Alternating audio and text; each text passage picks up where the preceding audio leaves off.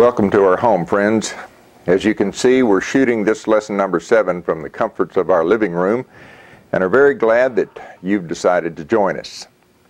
Making Firm the Foundation is a 20 lesson series of very interesting Bible topics. We start in Genesis, we give the viewer an overall purpose of God's plan and show the timetable that covers 7,000 years. Then we jump right into the first topic of creation and we take you through 20 lessons to the end of the Bible, hitting the highlights and uh, concentrating on those first fundamental principles that make up the foundation of the original faith that Jesus taught to his apostles. We encourage you to ask questions which you can direct to the address below this site. So let's get started with our first present lesson, and that is Lesson 7 Joshua, the conquest of Canaan, and the period of the Judges.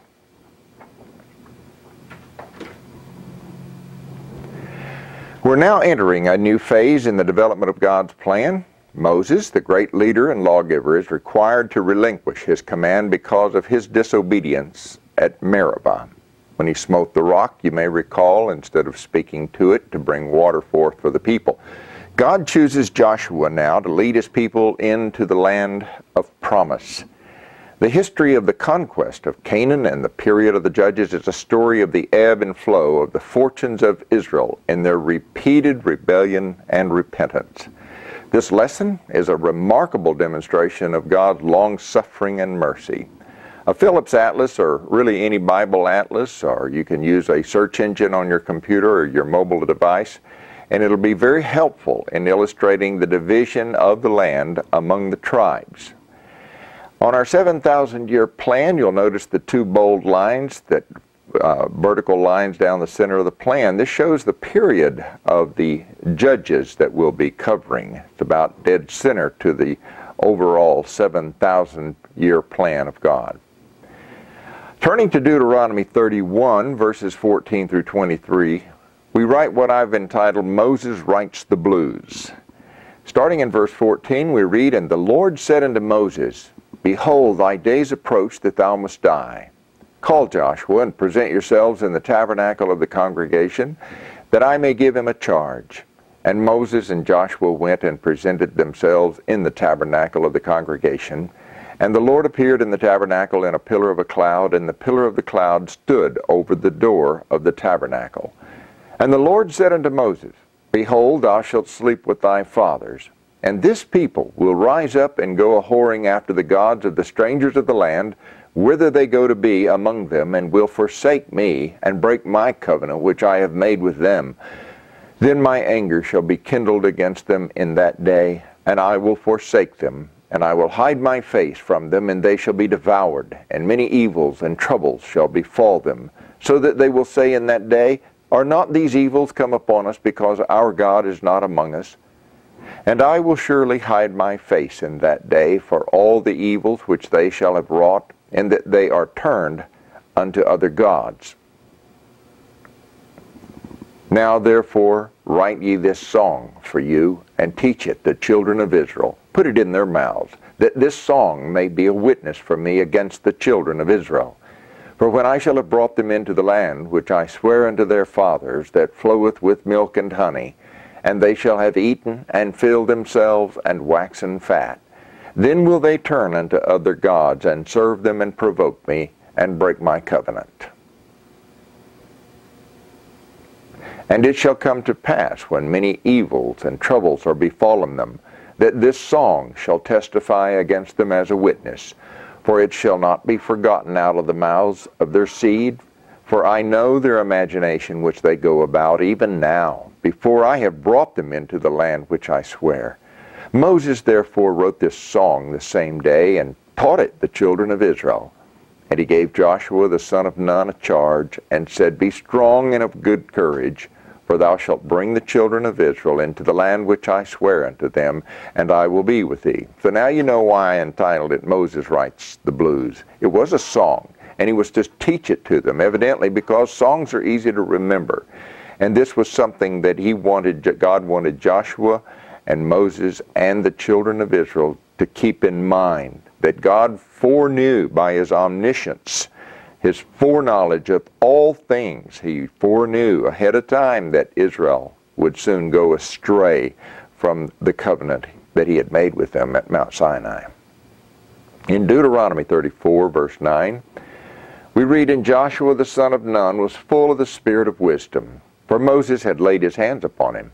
And the children of Israel hearkened unto him and did as the Lord commanded Moses. Well, in this verse, we're given Joshua's qualifications for leadership. It seems quite fitting that in verses 10 through 12 there should be a testimonial to the qualities of leadership in Moses, the great prophet, whom the Lord knew face to face. It'll be profitable for you to refer in this connection to Exodus 33, verses 17 through 23, and Numbers 12, verses 7 through 8, which I will leave at your discretion to read.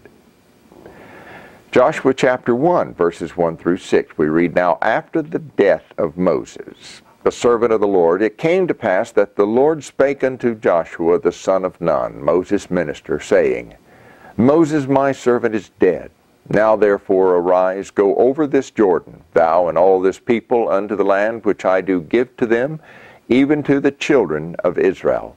Every place that the sole of your foot shall tread upon, that have I given unto you, as I said unto Moses.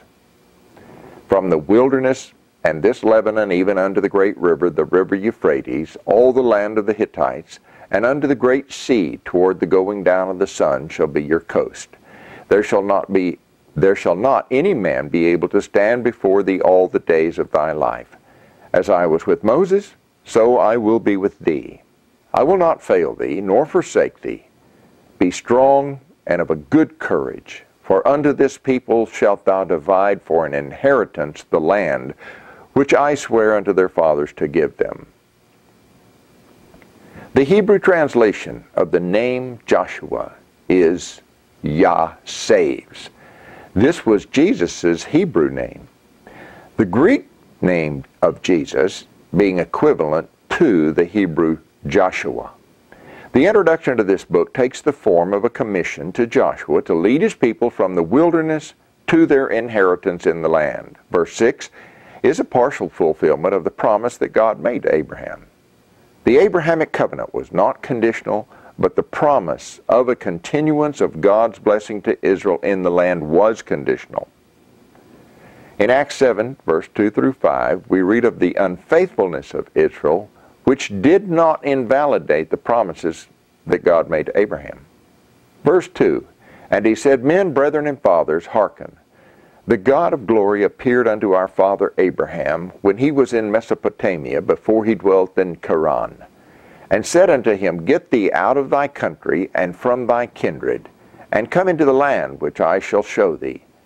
Then came he out of the land of the Chaldeans and dwelt in Charan. And from thence, when his father was dead, he removed him into this land, wherein ye now dwell. And he gave him none inheritance in it, no, not so much as to set his foot on, yet he promised that he would give it to him for a possession, and to his seed after him, when as yet he had no child. So we can see in Stephen's words in the book of Acts a reiteration of this very promise that God had made to Abraham regarding the land and yet they were in the land when Stephen spoke these words, or they had returned from the Babylonian captivity. In Hebrews chapter 4, verses 7 through 9, we read, Again he limiteth a certain day, saying in David, This day, or today, after so long a time as it is said, Today, if you will hear his voice, harden not your hearts.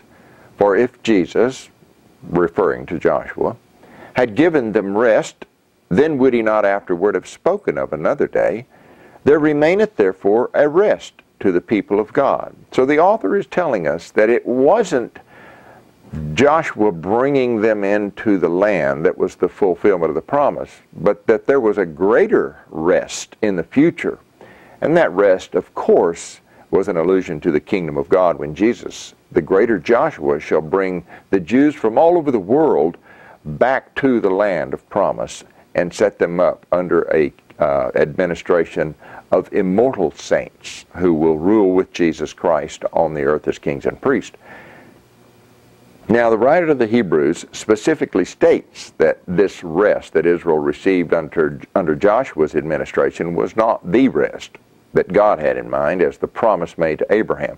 Joshua did not give the people the rest of the seventh day, as we mentioned.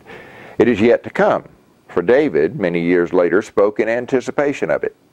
This chapter emphasizes the true rest that will take place under a greater Joshua, that of King Jesus during his millennial reign.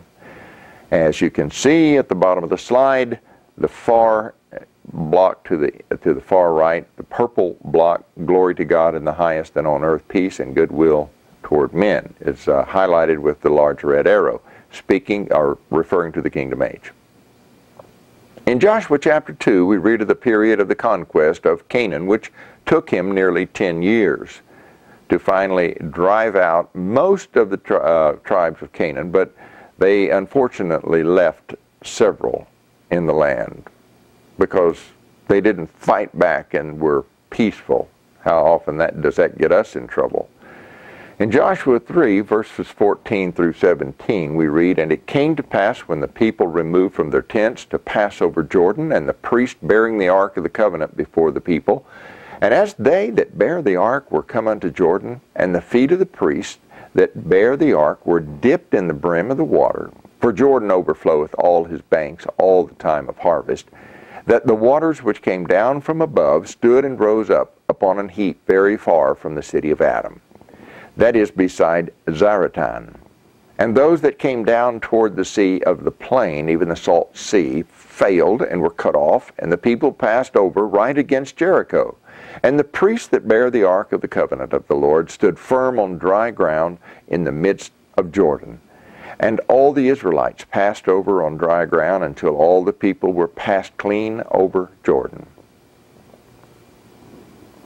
This chapter describes the crossing of the Jordan River and the entrance into the land. A point of interest is found in verses 14 through 17, where, in spite of flood conditions, which always took place at harvest time, the people passed over on dry ground. Well, this was obviously a repetition or an echo on a smaller scale of the crossing of the Red Sea. It's remarkable that Israel's journey started with the crossing through water on dry ground at the Red Sea and terminated in the same manner. In Joshua 6, we read of the conquest of the city of Jericho. Verses 1 through 3 Now Jericho was straitly shut up because of the children of Israel. None went out and none came in. And the Lord said unto Joshua, See, I have given into thine hand Jericho and the king thereof and the mighty men of valor. And ye shall compass the city, all ye men of war, and go round about the city once. Thus shalt thou do six days.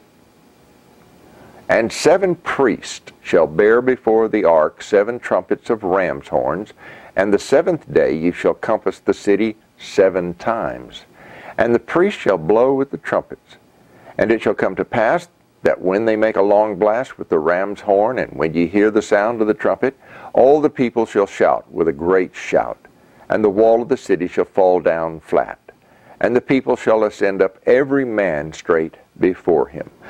So, viewers, we read here that this is the first victory, and it came with the fall of a strategic Canaanite fortified, very fortified city of Jericho.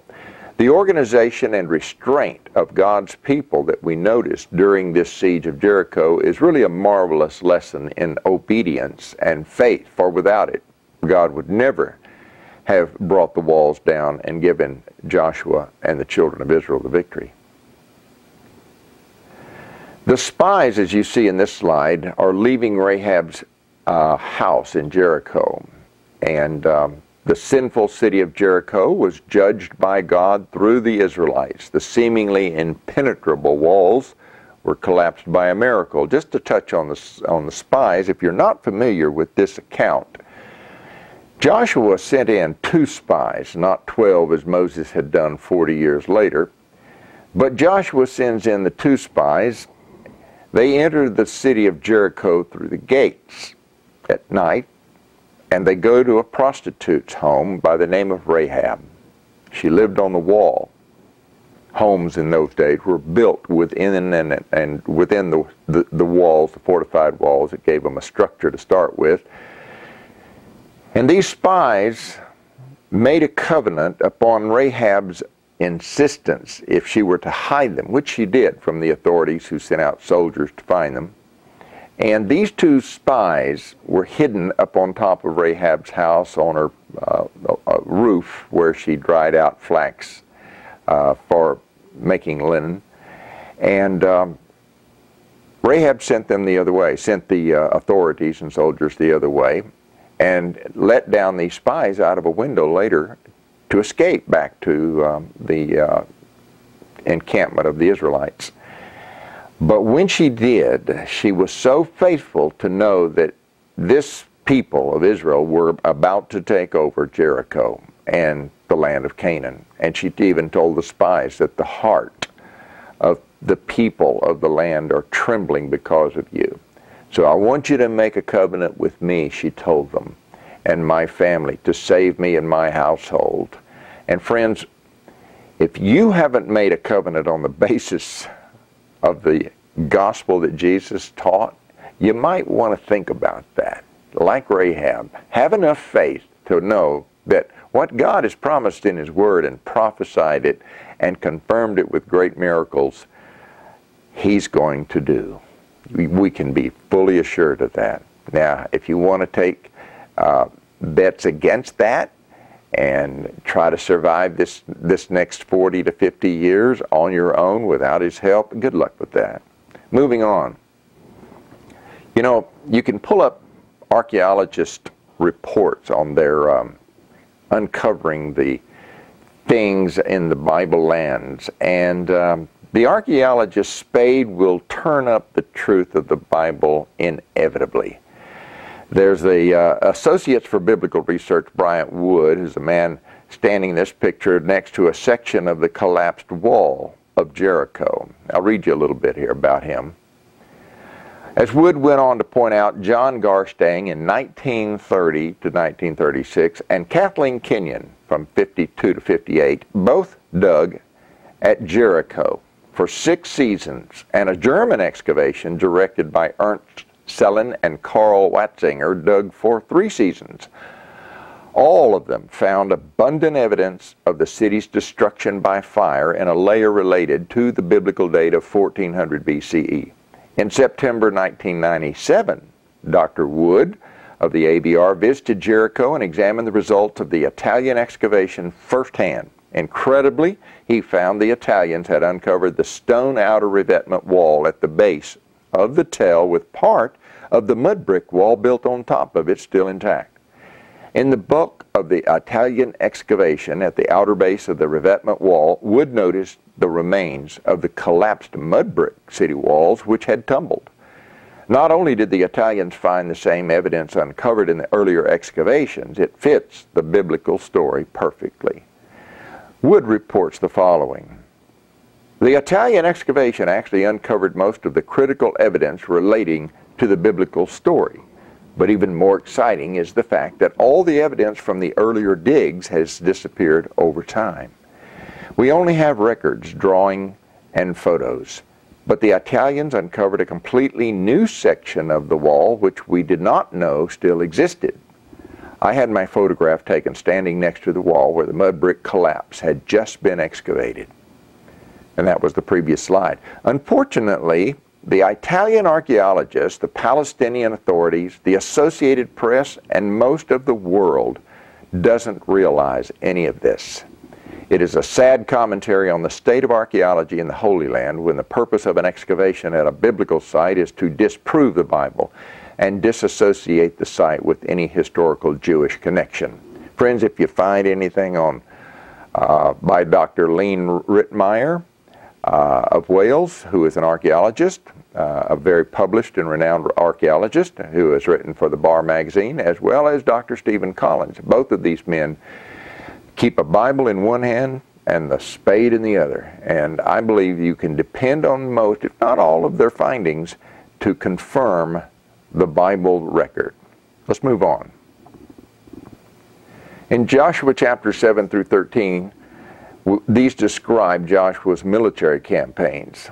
In Joshua 10, verse 5, we read, Therefore the five kings of the Amorites, now these are the Canaanite tribes, the king of Jerusalem, which was still under the control of Canaanites, the king of Hebron, the king of Jarmuth, the king of Lachish, the king of Eglon, gathered themselves together and went up, they and all their host, and encamped before Gibeon and made war against it. And the men of Gibeon sent unto Joshua to the camp to Gilgal, saying, Slack not thy hand from thy servants. Come up to us quickly and save us, and help us. For all the kings of the Amorites that dwell in the mountains are gathered together against us. And really, it was actually Joshua's obligation because he had made a covenant. Unbeknownst to him, these Gibeonites were actually Canaanite citizens dressed in disguise of men who had come from a foreign land and wanted to make a covenant telling Joshua that they were from a faraway land and not to worry, we're not from this place. And they were lying, and Joshua failed to uh, consult um, Yahweh, God, the God of Israel, for the truth. Otherwise, he would have gotten it, no doubt. But as it was, Joshua made the covenant, and now the men of Gibeon are set upon by these kings of the Canaanites who want to kill the Gibeonites for making a covenant. And of course, they appeal to Joshua to help them fight. Jumping to Joshua 14, one interesting observation in connection with this chapter is that the land that was divided by lot fits exactly in the pattern of the prophecy that's contained in the blessings that Jacob gave to his sons, which can be found in Genesis 49. You might, you might want to take a look at that and uh, peruse that chapter uh, of, of, these uh, divisions of the land.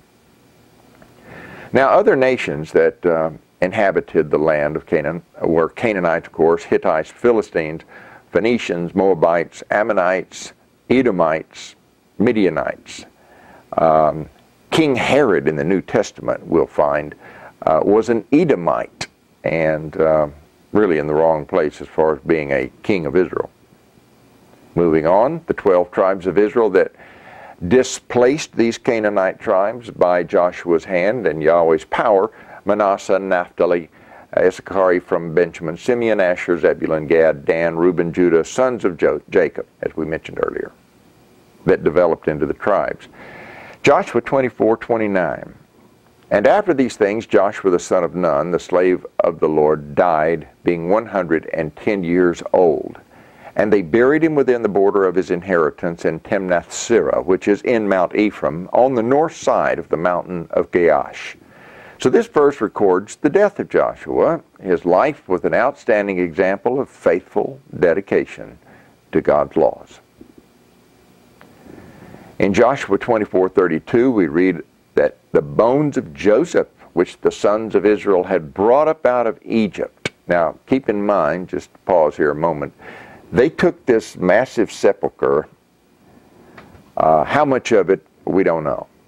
But it must have been quite a sled that they dragged Joseph's bones on, uh, carried them perhaps on a cart. Uh, we're not sure of the mode of transportation, but they would have brought Joseph's bones as he told them to do upon exiting or the exodus of the children of Israel from Egypt and carried them all this way. And what happened? They buried them in Shechem in the part of the field which Jacob bought Joseph's father, Jacob, buys this land back in Genesis from the sons of Hamor, the father of Shechem, and that was before all of the Shechemites were slain by Simeon and Levi. He bought this land from the sons of Hamor, the father of Shechem, for a hundred ewe lambs, and it became the inheritance of the sons of Joseph. So that's naturally where Joseph wanted to be buried. And Eleazar the son of Aaron died, and they buried him in the hill of Phinehas, his son, which was given to him in the mountain of Ephraim. So these patriarchs are falling asleep and being buried in their resting places to await the resurrection. Now, in verse 32, we find the record of the burial of the bones of Joseph. When we follow the narration, we marvel at the circumstances under which each step of the journey brought Joseph's remains closer and closer to its final resting place. His burial took place in the parcel of ground which Jacob had previously purchased from the people of the land. Surely it was not coincidence, but design, that the lot of inheritance fell to the children of Joseph. Now we leave Joshua, the book of Joshua, and go into the book of Judges. First chapter, the book of Judges, covers approximately 400 years. Keeping that in mind as a little background, the following is a brief outline sufficient to illustrate the history of this period. When Israel inherited the land, it was divided among the tribes by lot. There was no capital city and no central government. Some of the tribes became isolated and there was very little communication between them. As you can see on the map of the slide, during the time of Joshua, Israel was faithful to God, but later there was a falling away to idolatry. God punished them through raids and warfare with the surrounding nations. There were times when one portion of the land might be secure and at peace, while yet another area might be invaded and at war. In the book of Judges, we see that these were men and a woman in particular were raised up by God to rescue them from from their, their enemy whenever they repented of their transgressions. Israel's history during this period swings like a pendulum between unfaithfulness and repentance. In the slide, you can see an illustration of um, Samson and Delilah courting, as it were, over the um, floor rug of the lion that that um, Samson had slain. I find that an interesting artist interpretation of that scene. Very good art. Continuing, it is interesting to note that the judges were not selected from any particular tribe, but came from several tribes and different walks of life. God chose them to meet the requirements of a particular circumstance. Outstanding examples are Samson, who we saw earlier, and Gideon, the administration of the judges in some cases overlap. There were in some areas long periods of peace and prosperity as shown in the book of Ruth. Here is a uh, sequence of events in the life of Samson, starting to the far right. We see uh, the location of where Samson marries a Philistine woman He's betrayed by her kin and, and, friends, and he exacts his revenge by burning down their grain fields and olive yards, vineyards. And then you jump over to uh, the second from the left at the top, number two, the, he where he slew 30 men. So he leaves town, he, he slays 30 men, takes their garments, and brings them back to this wedding night uh, to pay off a debt for them solving a riddle by uh, coercing his bride. And um, so he lost that bet, but he, 30 men lost, 30 Philistines lost their lives. Then you jump to uh, the far left, number three, Samson is captured by the Philistines while staying at Gaza. And down to number four on the right, the bottom, Samson escapes Gaza, flees to Hebron with the city gate on his shoulders. Um, and then number five at the top in the middle, Delilah, he meets and she betrays him. Uh, and then he's taken by the Philistines to Gaza and blinded. And then finally, number six on the far left lower corner, Samson destroys the temple of Dagon, killing himself and numerous Philistines. Quite a dramatic lifetime.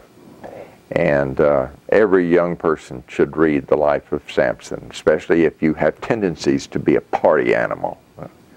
Yeah, it's a, it's an extraordinary lesson, one I had to learn the hard way, and I sure, certainly hope you do not, young people, and even middle-aged and older people. Think before you become a party animal that ends up blind and dead. Okay, the historical record it points up the more dramatic parts when certain tribes were under great pressure.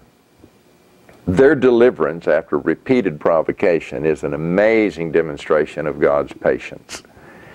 It's important for us, viewers, to realize the instability of the tribes during this period of the judges and God's love and concern for his people. Yeah, the book reads like a sordid novel.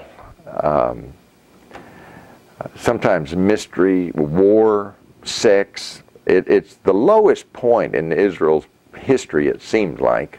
Maybe not, but uh, it seems like it when you read through the book of Judges. But it, through all of that, God's love and concern for his people is manifested, realized. And he didn't forget the covenant that he made with the fathers, Abraham, Isaac, and Jacob. But he brought Israel through this most difficult period. And like we said earlier, it's like a, a clock pendulum back and forth or up and down the mountains and, and valleys of the shadow of death. It's really a dramatic book to read. I encourage you to read the whole thing. Now, we jump to Samuel, and uh, we mentioned Ruth, which is a little short book um, about an extraordinary Gentile woman, uh, a Moabite. Um, I want you to read that one too. But now we get into Samuel. Now, Samuel was the last judge of Israel and certainly the most influential. You want to play, pay close attention to the account of his birth and introduction into the house of Eli when he was a child.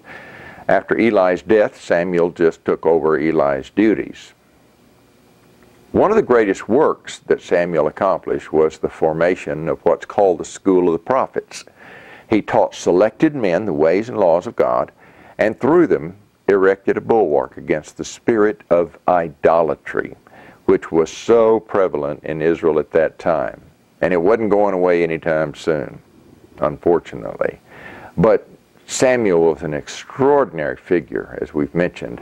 So the prophets lived in these schools or in a communal life, and these were great colleges that were held in great respect by the people because they were turning out qualified men to help Samuel teach the people, unlike some schools.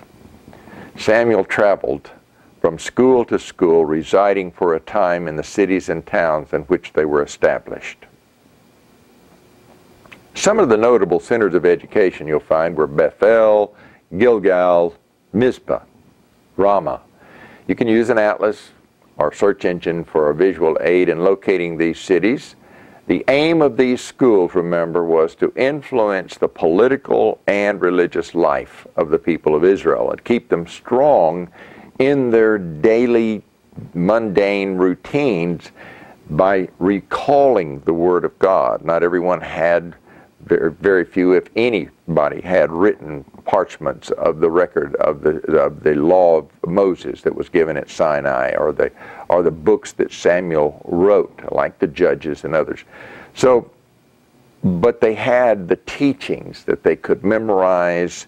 Uh, from these men like Samuel and the men of the school of the prophets. And you see how they're, they're close in proximity to the city of Jerusalem. Next, we see a, a, a map of um, the, the red circular line shows the circuit preaching of Samuel, and the inset here is Samuel anointing Saul.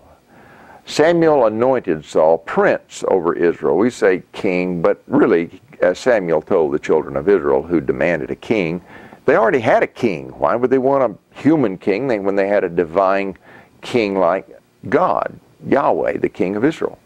But they insisted, and Yahweh uh, gave Sam, Samuel the green light. And he anointed a man who God actually provided for them to satisfy what he knew would be their own lust of the eyes, the flesh, and pride of life. Here's a king that can lead us out and bring us in and lead us into battle, and we can praise him and glorify him. I mean, after all, the children of Israel said to Samuel, All the other nations have kings. We should have a king. Peer pressure. We never get away from it, whether individual teens or nations like Israel succumbing to peer pressure, when in fact, they had the greatest king any nation could ever have. And they are yet to recognize that. Sorry, Israel, but it's coming. You'll recognize it. And the scales will fall from your eyes, and your Messiah will be revealed unto you. So we're going to leave Samuel here as the strongest personality in Israel. He's a kingmaker. under God's direction, of course, because later we, he anoints David. And uh, so that we're going to see the introduction of a man who loved God and um, made a wonderful king, notwithstanding his failures. But we can all relate to that. We will see a strong influence when we take up our next subject in lesson 8, when we see Samuel anointing David king in what will be called the kingdom period. So until then, I bid you goodbye, and we'll see you hopefully again in our next lesson, lesson number 8, the kingdom period. Thanks for viewing, viewers, and we'll see you again.